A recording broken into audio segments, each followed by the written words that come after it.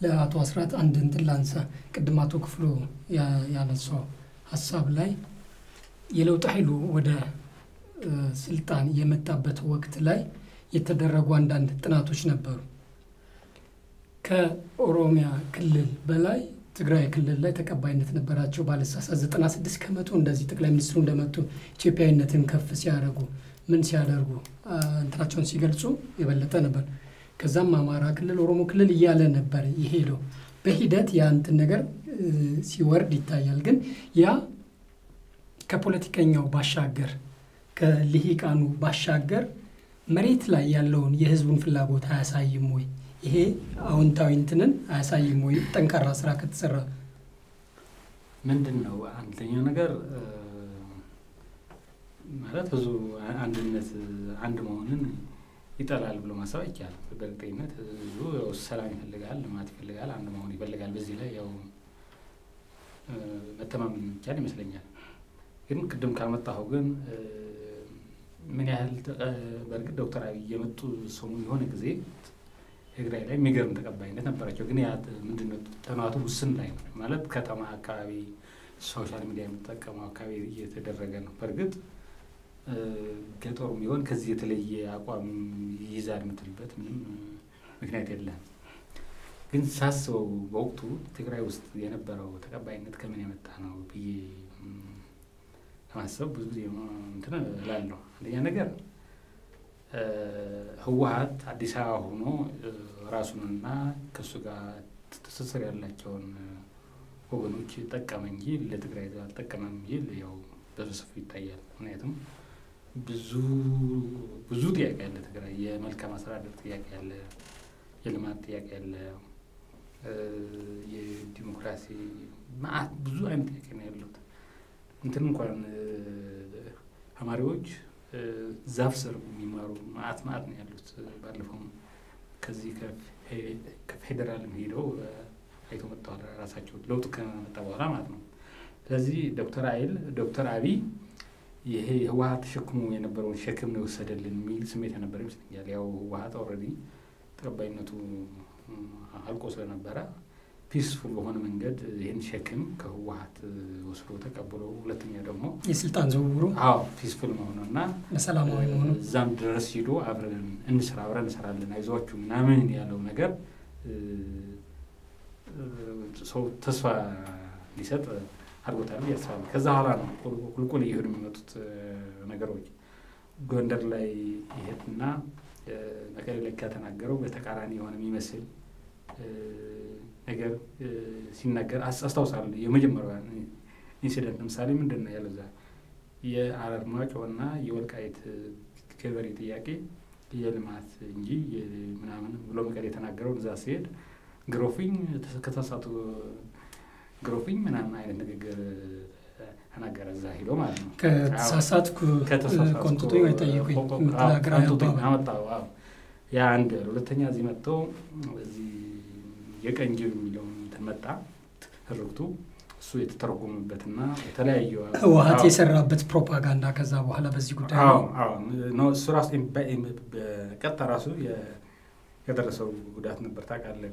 ከሚሴ ላይ ጎንደር፣ የተለያየ አካባቢዎች ላይ እሱን ተከትሎ አደጋ ደርሰዋል በትግራይ ወላጆች። ከዛ በኋላ እየተሰሩ የመጡትን እየተደማመሩ አሁን በሚገርም ሁኔታ ገጠር ድረስ ሰው በጣም toxic ሆኗል። አሁን በዚህ በለውጥ ኃይሉ ላይ ያለው እንትን ከዛ በኋላ ደግሞ የኢትዮ ኤርትራ ድንበርም ትልቅ ተስፋ አንዱ የፈጠረ ነበረ። በኋላ ከኢሳያስ ንግግር ምንድን ነው የተሰሙ ነገሮች፣ ሁለተኛ ደግሞ practically ም መንገዱ አለመከፈቱ አመልሶ ነው የተዘጋው።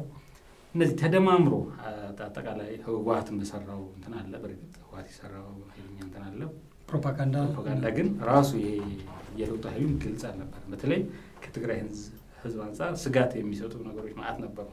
ይሄ ተገልብጦ አሁን ያለበትን ፍጹም በጥርጣሬ የማየት ስሜት ወልደዋል ብዬ አስባለሁ። ሌላ አካባቢ በተለያየ እንትን ነው ፍላጎት የሚመጣው። ለምሳሌ አማራ አካባቢ የነበረው ፍላጎት እናውቃለን። ብዙ ማለት የሆነ ህገ መንግስቱን ወዲያው ተቀዶ እንዲጠራ አዲስ ህገ መንግስት እንዲወጣ አካላሉም ወዲያው እንዲቀጠየር ምናምን ብዙ የመፈለግ ነበረ። እነዛ አልሆኑም። ኦሮሞ አካባቢ ከመጀመሪያውም ጀምሮ በጥርጣሬ የነበረ አካባቢ ከመጀመሪያው ጀምሮ አይተህ ሰልፍ ሲደረግ ድጋፍ ኦሮሚያ አካባቢ ያን ያህል በተወሰኑ አካባቢ ካሉ በስተቀር ሰልፍ አልነበረም፣ የድጋፍ ሰልፍ እና ከመጀመሪያውም የጥርጣሬ መልክ ነው የነበረው። ኋላ ግን የነ ጀዋርም ሌሎቹም የኦነግ አካባቢ የሚመስል አቋም ያላቸው ሰዎች እየሰሩ መጥተው አሁን ያለበት ደረጃ አድርሶታል ብዬ አስባለሁ እና ተቀባይነቱ ምን ያህል ልምድ ነው የቀነሰው የሚለው ነገር ከየአካባቢ ያለውን expectation ነው የሚጀምረው። ከየአካባቢ ያለውን ሁለተኛ ቅድምም ሲባል እንደነበረው ኢትዮጵያ ብሎ በመጡበትም ብዙ አልቀጠሉም። ግን እሱ ብቻ ነው ብዬ አላስብም። ሌሎችም ተጨማሪ ነገሮች አሉ በየአካባቢው የመታመኑን እድል በተለይ አሁን ባይዘው የ good party አንደኛው ችግር የሚሆነው ቅድም ጥሩ ፕሮግራም ይዞ ከመጣ ሊመረጥ ይችላል የሚለው ነገር አንድ ሚስ እኔ ገምተው የተቀባይነቱን ጥያቄ የተአማኒነት ጥያቄም አምጧል። አሁን አሁን ባለበት ሁኔታ የፈለገ ቅዱስ የሚሆን ፕሮግራም ይዞ ቢመጣ ይሄ ፕሮግራም ተተግብሮ ምን ያህል ይለውጥልኛል የሚለው በተለይ ብሔርተኞች አካባቢ ላይ ያን ያህል ስሜት ላይሰጥ ይችላል። ሁለተኛ ደግሞ በአፍሪካ ውስጥ አንድ የጓንዳዊ የፍልስፍና ምንድን ነው አፍሪካን ፊሎሶፊ ነው ምናምን ብሎ ያወጣው መጽሐፍ አይቼ ነበረ እና አንድ ያጠናው ነገር አፍሪካ ውስጥ ፕሮግራሙ የሚሰራው ሪሌሽንሽፕ ነው የሚል የጎሳ ሪሌሽንሽፕ ነው የሚሰራው የሚል አለ መጽሐፍ። እዛ ላይ የተለያዩ ሀገሮች ነው ያጠናውና አፍሪካ ውስጥ more የሚሰራው relationship ነው የጎሳ relationship ነው። ከማን ጎሳ ነው የመጣው የሚለው ነው more የሚሰራው እንጂ ፖለቲካ ፕሮግራም አይደለም። ይህን ማስታረቅ አለብን የሚለው ነገር አለው። ወደ ኢትዮጵያ ስታመጣው ይሄ ነገር real ነው ብዬ አስባለሁ። አሁን ባለው ሁኔታ ጀዋር እና ዶክተር አብይ ወደ ኦሮሚያ ሲሄዱ በእንትን ብቻ የሚከራከሩ አይመስለኝም። በፕሮግራም ብቻ ሌሎች አሉ የአመለካከት ምንድን ነው የሚለው ነገር ማለት ነው። ከዛም ባሻገር ነው ነገሩ maybe more ኦሮሞ ሆኖ በመታየት በመምሰልም ሊታይ ይችላል ማለት ነው። እና እነዚህ ነገሮች affect ያደርጉታል ብዬ ወደ አቶ ክፍሉ ላምጣው እንግዲህ እንደተረዳሁት አቶ አስራት ያሉት በተለይም እዛ የኡጋንዳዊ ደራሲን መሰረት በማድረግ ሰዎች በእንትናቸው በግንኙነታቸው የደምም ሆነ የስጋ አጥንት ብቻ ዋቴቨር በዛ ግንኙነታቸው እንጂ በተለይ በአፍሪካ ደረጃ ማለት ነው እንግዲህ በእንትናቸው ላይ የተመሰረተ አይደለም ግንኙነታቸው የሚል ነገር አለ። እሱ እውነት የሚሆንበት የህብረተሰብ ደረጃ አለ። ዘመድ አለ አይደለም፣ የተለያየ የህብረተሰብ ደረጃዎች አሉ። ትንሽ ሆነው አብሮ በሚኖሩበት ጊዜ ያው አጠገቡ ያለው ነው ለሁሉ ነገር የሚደርስለት የሚያክትለት ምን የለት እሱ ነው ዋናው መከታው። እያደግ ትልቅ የሆነ የሆነ ከተማ ምን ምን እያለ ወደ ሌላ ደረጃ በሚደርስበት ጊዜ ያ ሁሉ ይቀየራል። ያ ሁሉ ይቀየርና የዘመድንም የስጋንም የደምንም የምንም እንትኖች ሌሎች ጥያቄዎች ይተኩታል ይተኩታል። እነኚህ ጥያቄዎች የጋራ የሆኑ የኑሮ የኑሮ ሁኔታ ሰራተኛው የጋራ የሆነ የጋራ የሆኑ ጥያቄዎች አሉ። ስምንት ሰዓት በቀን መስራት እፈልጋለሁ ይላል። ሌላውም ሰራተኛ ስምንት ሰዓት መስራት ነው የሚፈልገው። ለስምንት ሰዓት በቀን ስምንት ሰዓት ለመስራት አብረን እንነሳ፣ አብረን እንታገል ይላል። ዝቅተኛ የሰራተኛ ደሞዝ ይስተካከልልን የሚል ጥያቄ ሁሉም ይደግፈዋል። ወንድሙ አይደለም፣ ወንድሙ ሌላ ቦታ ነው የሚሰራው፣ ወይ አክስቱ ሌላ ቦታ ነው የሚሰራው።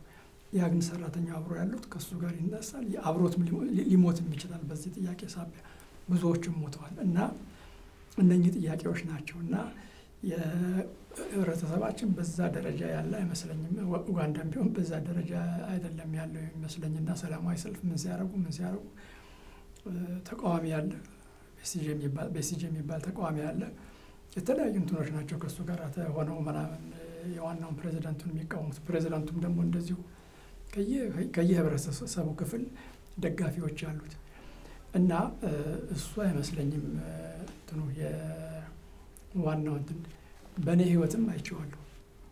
በእኔ ህይወት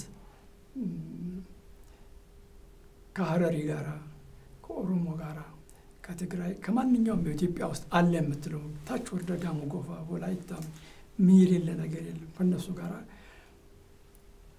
ከወንድምና ከእህት በበለጠ ደረጃ አብረን ሰርተናል። ሞችለታለሁ፣ ሞቶልኛል፣ ቆስዬለታለሁ፣ ቆስሎልኛል። አይተነዋል። እኛም የእሱኖችም እናሳልፈናል።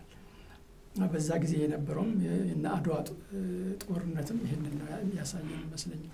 የማይጨው ጦርነትም ይህንን ነገር ያሳየን ይመስለኛል። ብዙ እንትኖች አሉን እና ግን አሁን በአሁኑ ጊዜ ይሄ ብሔርተኛ ኃይሉ በጣም ይጮኋል፣ በጣም ይጮኋል። ከመጮሁም በላይ አሁን እንዳየነው ይገላል።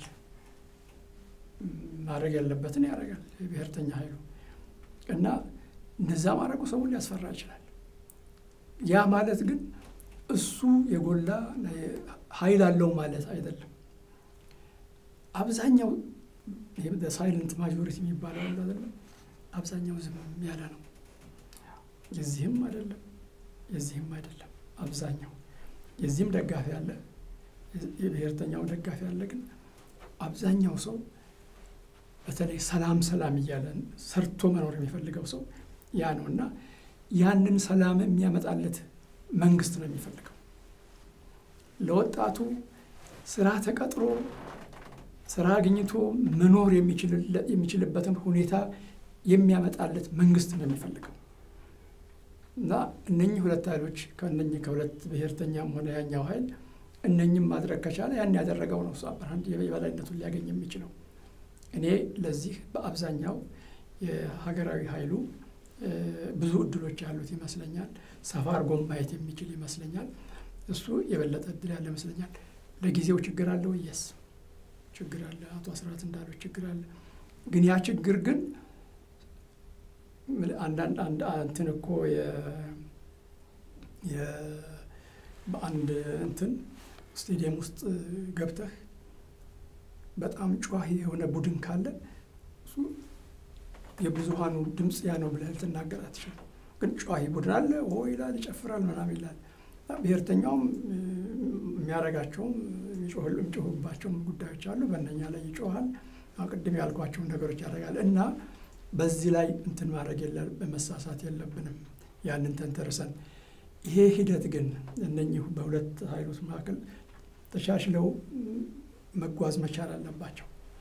በሂደት ልዩነቱ እየጠበበ እየጠበበ እየጠበበ ስንት ዓመት እንደሚፈጅ አላቅም። ያንን የሚወስነው ደግሞ ሁላችንም በምናደርገው እንትን ነው። እኔ አንተ ሁላችንም በምናደርገው ሚዲያው በሚሰራው ስራ ነው እሱ ኤንጂኦዎች መንግስታዊ ያልሆኑ ድርጅቶች በሚሰሩት መንግስቱ በሚያደርገው ፖለቲካ ፓርቲዎቹ በሚሰሩት በሁላችን እንትን ላይ ነው እሱ። ምክንያቱም መለያየት ለማንም አይጠቅም። ተለያይቶ መቆም ለማንም ምንም ምንም ያመጣልን ነገር የለም። እንደውም አሁን የውጭ አካላት በተለይ ከዚህ ከግድቡ ጋር በተያያዘ ይችን ሀገር እንትን ሊያደርጓት እያሰቡ እያደረጉም ያሉ ይመስለኛል። instability አለመረጋጋት አለመረጋጋት በሀገር ውስጥ እንዲኖር ያ አለመረጋጋት ደግሞ የዛ አለመረጋጋት መኖር እነ ዶክተር አብይን ያዳክማል። እነ ዶክተር አብይ ከተዳከሙ compromise ያደርጋሉ። በሀገራዊ ጥቅሞች ላይ በሀገራዊ ጥቅሞች ላይ ማፈግፈግ ይጀምራሉ። የእነሱን ጥቅም ማስከበር የሚችሉባቸው ሁኔታዎች የሚፈጠር ይመስለኛል። እዚህ ላይ ማንሳት አልፈልግም እንጂ ቀደም ካለ ጊዜ ጀምሮ እየሰሩበት ያለ ነገር ይመስለኛል። አሁን በየቦታው የሚካሄደው ግድያም ሆነ ምናምን በየቦታው በተማሪዎችም በምንም በተገኘበት ሁሉ ያ ዝም ብሎ ሀገር ውስጥ ያለ ኃይል ብቻ የሚያደርገው አይመስለኝም። ገንዘብ ያለው ኃይል ከውጭ ይህን ነገር እያደረገውም ይመስለኛል። ይሄ መንግስት መንግስት ነው ተከታትሎ መድረስ ያለበት። በቅርቡ አንድ ወረቀት ላይ አንድ የሆነ ጋዜጣ ላይ እንዳነበብኩት September 21 21 ከዛሬ 15 ቀን አስር ቀን ነው ነው ዛሬ ወር ገደማ ወር ገደማ አንድ አስር ሰዎች ይህ እነዚህ አይሲስ እንደ ምናምን የሚባሉ እንትኖች ኢትዮጵያ ውስጥ ገብተው ቦሌ ላይ ተይዘዋል። እና አሁን ይህ ሁሉ መሳሪያ የሚገባው ምን የሚገባው ምን የሚገባው ገንዘብ የሚገባው ጥይት የሚገባው ምን የሚገባው ኢትዮጵያን የኢትዮጵያን አለመረጋጋት የሚፈልግ ኃይል አለ፣ ትልቅ ኃይል። ያንን ማወቅ ያስፈልጋል ይመስለኛል። የዚህን የዚህን ኃይል ምንነት መረዳት ማለት በዚህና በዚህ ያሉት በዘርዘር ተኮርና ሀገር ተኮር በሆነ ፖለቲካ የተሰለፉት ኃይሎች በመጀመሪያ ሀገራቸውን ማረጋጋት እንዳለባቸው መስማማት መቻል ያለባቸው ሀገራቸውን ማስቀደም መቻል ያለባቸው። ሀገር ስትኖር ነው እሱ እነሱም ተለያይተው ምናምን ሊፋቸው የሚችሉት እና ትልቅ አጀንዳ አጀንዳ ዘርግተውልን ከፊት ለፊታችን አጀንዳ ዘርግተውልን ያሉ ኃይሎች አሉና ያንን በደንብ በአንክሮ ማየት ያለብን ይመስላል። የመጨረሻ የመዝጊያ ጥያቄን ወይም የመወያያ ሀሳብ ላቅርብና ወደ እንትኑ እንሄዳለን። አዲሱ ውህድ ፓርቲው በመጪው ምርጫ ላይ ምን አይነት ተጽዕኖ ሊያሳድር ይችላል ሊያሳርፍ ይችላል የሚለውን አሁን ባለው ሁኔታስ ምርጫውን የሚሸከም ሀገራዊ አውድ አለ ወይ የሚለውን መነሻ እናድርግና ውህዱስ ፓርቲ ምን አይነት ተጽዕኖ ይኖረዋል? አዎንታዊ ተጽዕኖ፣ አሉታዊ ተጽዕኖ እንዴት ነው ምርጫ የሚሸከም ስትል አሁን ያለው የሀገር ሁኔታ በየግጭቱ ምኑ አጠቃላይ ሁኔታው ሀገሪቷ ተረጋግታ ምርጫን ማስተናገድ የምትችልበት የሰከነ ሁኔታ አላት ወይ? አንዱ ተነስቶ ገና ምርጫ ቦርዱ እንትኑን ሳይገልጽ እንዲህ ነው ቢል የቀውስ መንገድ አይሆንም ወይ? ያ አይነት ስምምነት ያ አይነት ማዕቀፍ ሰፍኖ ባልታየበት ሁኔታ ምርጫው ደግሞ ጊዜውን ጠብቆ እየመጣ ነው። ሀገሩ ያንን ይሸከማሉ ያለው ሁኔታ ከሆነስ ውህዱ ፓርቲ ምን አይነት አዎንታዊ ወይም አሉታዊ ተጽዕኖ ይኖረዋል በዚህ ምርጫ ላይ? እኔ ምንድን ነው ምርጫ ላይ ሁለት ነገር ነው የሚታይ። አለማድረግም በጣም አደገኛ ነገር ነው። ምክንያቱም ህጋዊ ያልሆነ መንግስት ነው የሚያሸጋግረን። ጊዜው የጨረሰ መንግስት ስለሚሆን አደገኛ ነገር ሊፈጠር ያንታዘዝ የሚሉ አካላት ሊመጡ ይችላሉ ማለት ነው። ለምሳሌ ህወሓት ከአሁኑ ምርጫ ካልተደረገ ራሴ ምርጫ አካሄዳለሁ ዲፋክቶ ስቴትም ሆናለሁ ብለዋል። ከአሁኑ ማለት ነው። ይህ መንገድ ሌሎችም አይከተሉም ማለት አትችልም። ስለዚህ ምርጫ ማካሄድ የግድ ነው የምታይበት ነገር አለ። okay ምርጫ አካሄደ ምርጫ ውስጥ መቆጣጠር ይቻላል ወይ ነው አሁን አሁን ባለው ሁኔታ አሁን ምርጫ እንዳያጭበረበር የምትፈራው መንግስት አለ። በፊት በነበረው ኢህአዴግ ምርጫ የሚያጭበረብረው እንትን የሚያጭበረብረው የሚገለብጠው መንግስት ነው፣ የታወቀ ነው። አሁን ባለው ሁኔታ የሚገለብጠው ሌላ አካል የሚሆንበት ድል ሰፊ ነው። አሁን ለምሳሌ አሁኑ ወለጋ አካባቢ እንደፈለግ መንቀሳቀስ አትችልም። ከትናንት ወዲያ አንድ የኦሮሚያ ባለስልጣን እንደተገደለ ነው የምትሰማው እና ምርጫ ራሱ ሁሉም ቦታ ላይ አሁን ባለው ሁኔታ ማካሄድ ይቻላል ወይ? ምርጫ ቢካሄድስ እንትኑን ድምፁ በአግባቡ ማስጠበቅ ይቻላል ወይ? ባይዘው ህዝቡ ከፍርሃት ነጻ ካልወጣ ምርጫ ትርጉም የለውም ማለት እኔ አሁን ስመርጥ በመምረጤ ምክንያት የሆነ ነገር እንደማይደርስብኝ እርግጠኛ መሆን አለብኝ። ምርጫ ሄጄ መርጥ የምፈልገውን ለመቀስቀስ ራሱ ማለት ነው የተለያየ መረጡ ብሎ ለመቀስቀስ ራሱ የሰላምና የመረጋጋቱ ሁኔታ አሁን እኮ ሰው ገድሎ እየታየ እየተቀረጸ ሬሳ የሚጎትበት ሀገር ውስጥ ነው ያለ ነው።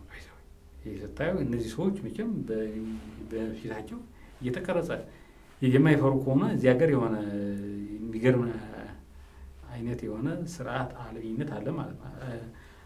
አይጠየቅም አልጠየቅም ብሎ አስበዋል ማለት ነው። የሚጠይቀኝ አካል ወይ መንግስት የለም ብሎ አስበዋል ማለት ነው። እነዚህ ሰዎች እየታዩ እየተቀረጹ ሰው የሚገሉ ህብረት የሚያቃጥሉ ማለት ነው።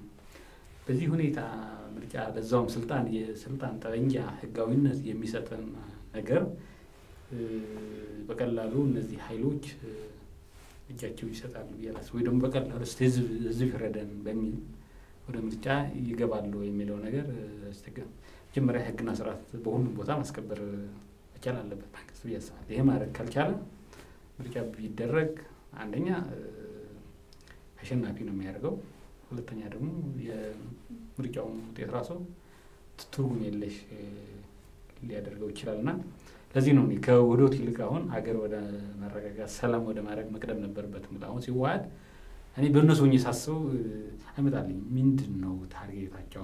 በዚህ ሁኔታ ላይ ፓርቲውን አዋህዶ አሁን ሀገራዊ የሆነ ፓርቲ ከክልል ፓርቲዎች ጋር ተወዳድሮ የሚያሸንፍበት እድል ይኖራል ብለው አስበው ነው ወይ? አንዳንድ ባይዘ አማካሪም ያሳስታል።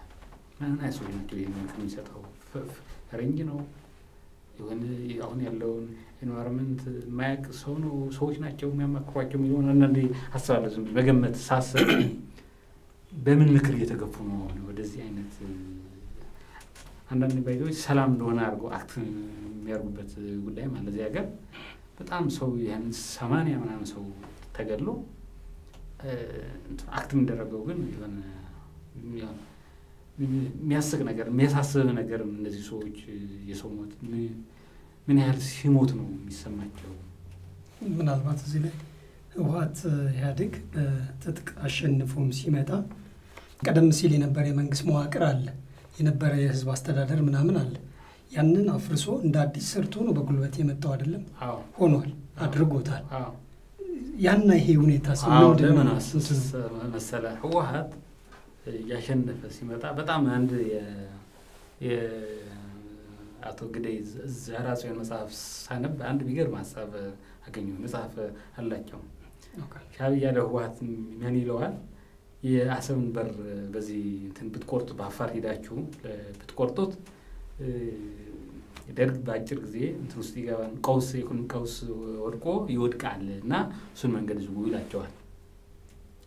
ህወሓት ቁጭ ብለው ሲያስቡት okay ይህን መንገድ ዘግተን ደርግ የኢኮኖሚ ቀውስ ውስጥ ገብቶ እንዲወድቅ ማድረግ እንችላለን፣ ይቻላል አሉ። ግን አሁን ከዛ ስልጣን እኛን የምንይዘው ወይ አሉ። አይ ስልጣን እኛ እንይዘው፣ ምክንያቱም እኛ ያለ ነው ገና ጫካ ነው ያለ። ስለዚህ ከገጠር እያስለቅቅን እያስለቅቅን አዲስ አበባ መግባት ያለብን ያሉት። ምክንያቱም ስልጣኑ መያዝ ደርግ መጣል ብቻ ሳይሆን እንደ ግብ ስልጣኑ መያዝ አለብን ነው። ስለዚህ ሲመጡ ምንድን ነው አሸንፈው ትጥቅ የነበረው መንግስት ኃይል አሸንፈው ነው የመጡት። በሙሉ ኃይል በሙሉ ውህደት ነው ያሉት በዛን ሰዓት።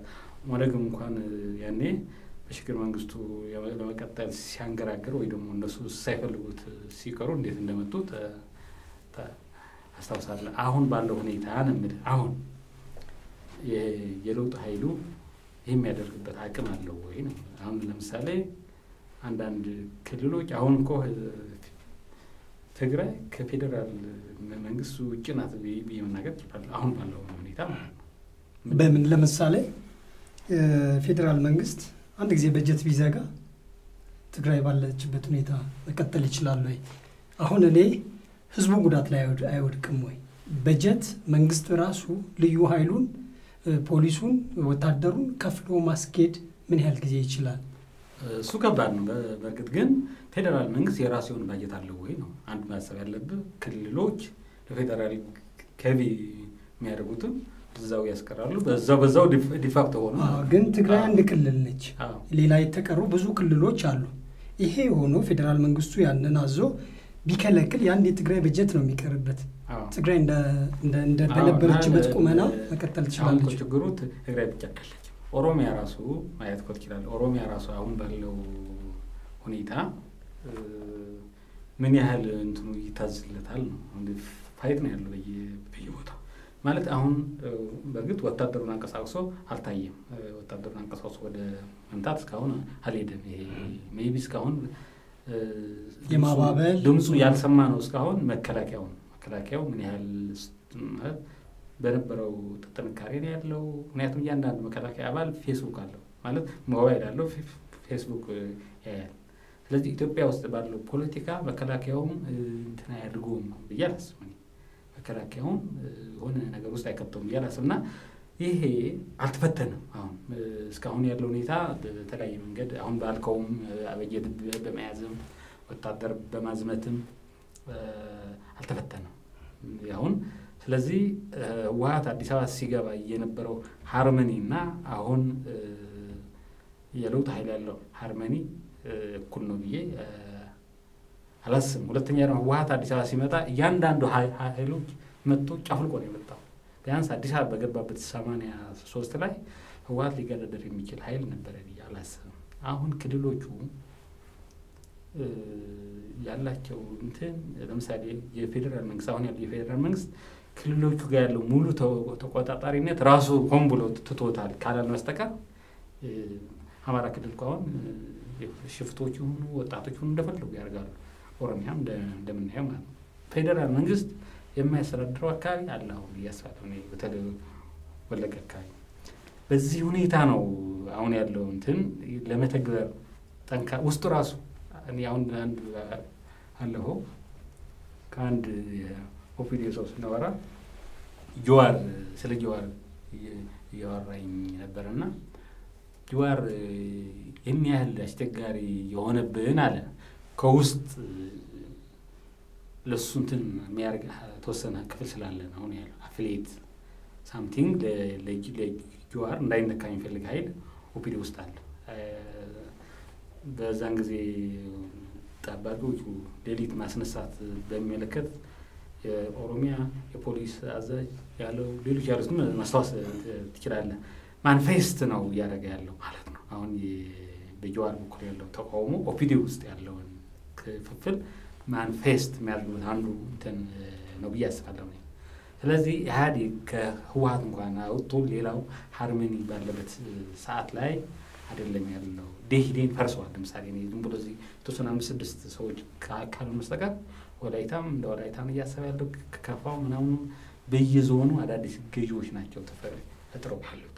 ስለዚህ ይሄ የውህዱ ኃይል ያን ያህል ምርጫውን ለማካሄድም ምርጫውን ውጤት ለማስጠበቅም maybe ወታደሩን አሰማርቶ አስቸኳይ አዋጅ አውጆ ካልገባበት በስተቀር አሁን ባለው መዋቅር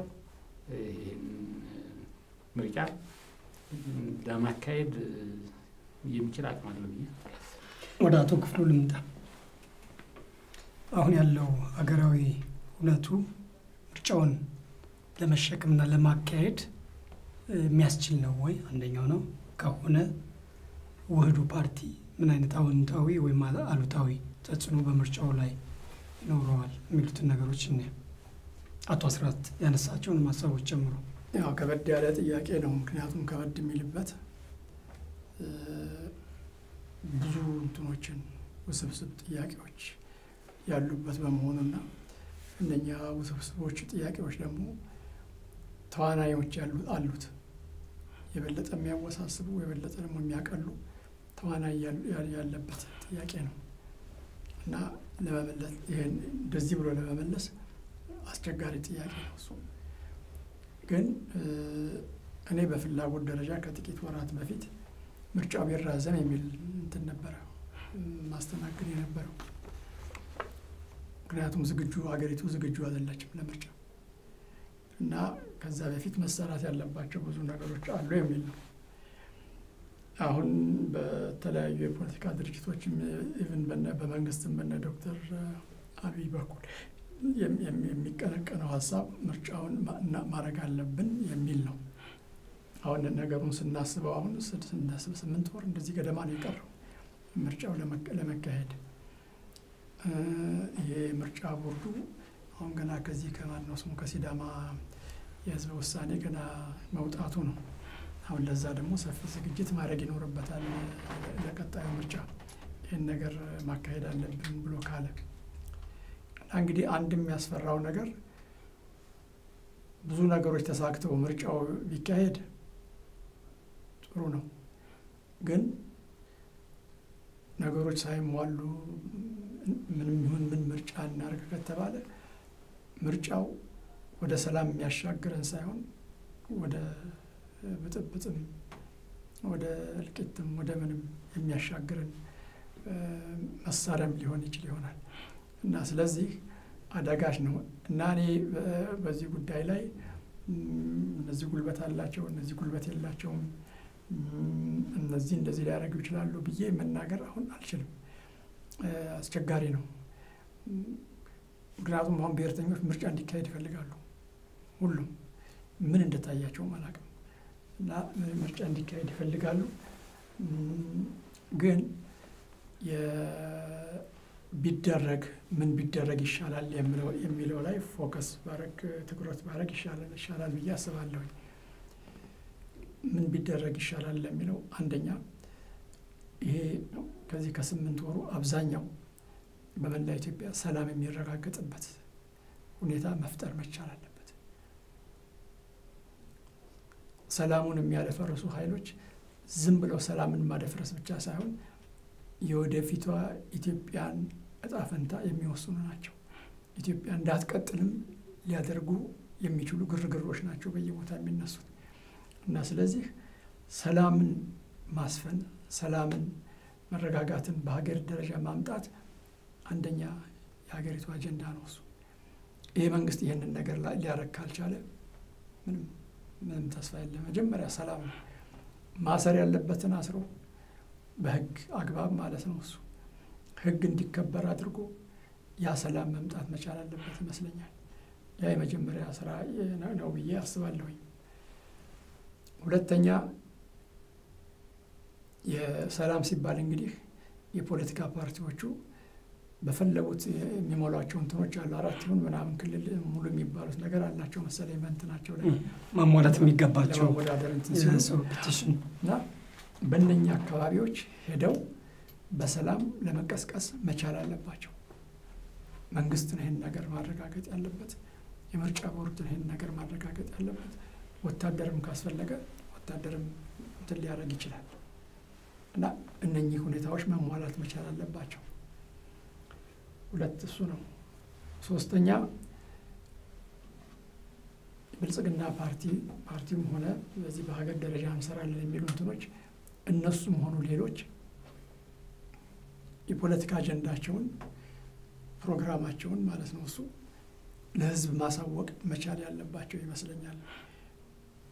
ነገ ለህዝቡ ምን ሊሰጡት እንደሚችሉ ዝም ብሎ አሁን የዜግነት መብትህ እናስከብራለን፣ ቋንቋ ይከበራል አይደለም። አሁን ትልቁ ችግራችን ድህነት ነው። ድህነት ነው እንትን ያደረገን፣ ረሃብ ነው እንትን ያደረገን፣ ፖቨርቲ በአጠቃላይ እሱ ነው እና በተለይ ብነኝህ ቁልፍ በሆኑ ጉዳዮች ላይ መፍትሄ የሚሏቸውን አቅርበው ይሄ ፖለቲከኛው አይደለም የሚወስነው እኮ ተራው ህዝብ ነው የሚወስነው። ነገ ዳቦ ማገኝበትን መንገድ ፈልጎልኛል ያመጣልኛል ብሎ በድምፁ ድምፁን አጥፍቶ ድምፁን ይሰጣቸዋል። እና ግን ያንን ለማድረግ እነሱ ራሳቸውን መወዳደር የሚችሉበትን መንገድ መፍጠር መቻል አለባቸው። ሌላውን ቶ እነሱ ራሳቸው እና ስለዚህ መጪው ምርጫ ይሄ መንግስት በሚሰራቸው ስራዎች ላይ ከሌሎችም ጋር አሁን የጀመሩት እንትን አለ። ሌሎችም ቁጭ አድርገው እያወያዩ political party ዎችን መፈራረም ሂደት ምናምን ምናምን እያደረጉ ናቸው። አንድ ጥሩ ጅማሮ ይመስለኛል እና እሱን እያደረጉ ናቸው። ወጣቶችም በ emotion ምናምን በስሜት በመነዳት የማይሆን ስራ ውስጥ እንዳይሳተፉ መደረግ ያለበት ሁሉ መደረግ አለበት። ህግ አሳልፈው ከሆነም በህግ አግባብ መቀጣት መቻል አለባቸው። ከዚህ በተጨማሪ ግን አሁን ሀገር ውስጥ ሆነውም ይሁን በሆነ መንገድ እጃቸውን ረጅም እጃቸውን አስገብተው እንድንባላ፣ እንድንጋደል፣ እንድንተራረድ የሚያደርጉ ኃይሎች እጃቸውን እንዲቆጥቡ ካልተቻለ እጃቸውን መቁረጥ መቻል አለበት። እነዚህ ኃይሎች እና መንግስት የሚያውቃቸው ይመስለኛል። እነኛ ኃይሎች ውለው አድረው ከቻሉ አገሪቱን ማጥፋት ማዳከም ነው። ካልቻሉ ደግሞ መንግስቱን ማዳከም ነው። አዳክመው የሚፈልጉትን ማግኘት ነው እና ስለዚህ ይሄ ነገር እየባሰ እየከፋ ከሚሄዱ በፊት እርምጃ መወሰድ ያለበት ይመስለኛል። አመሰግናለሁ። አድማጭ ተመልካቾቻችን የሳምንቱን ርዕሰ ጉዳይ እዚህ ላይ እናጠናቀቃለን። ሳምንት በዚሁ ጊዜ ሌላ እንግዳ ይዘን እናቀርባለን። ሰላም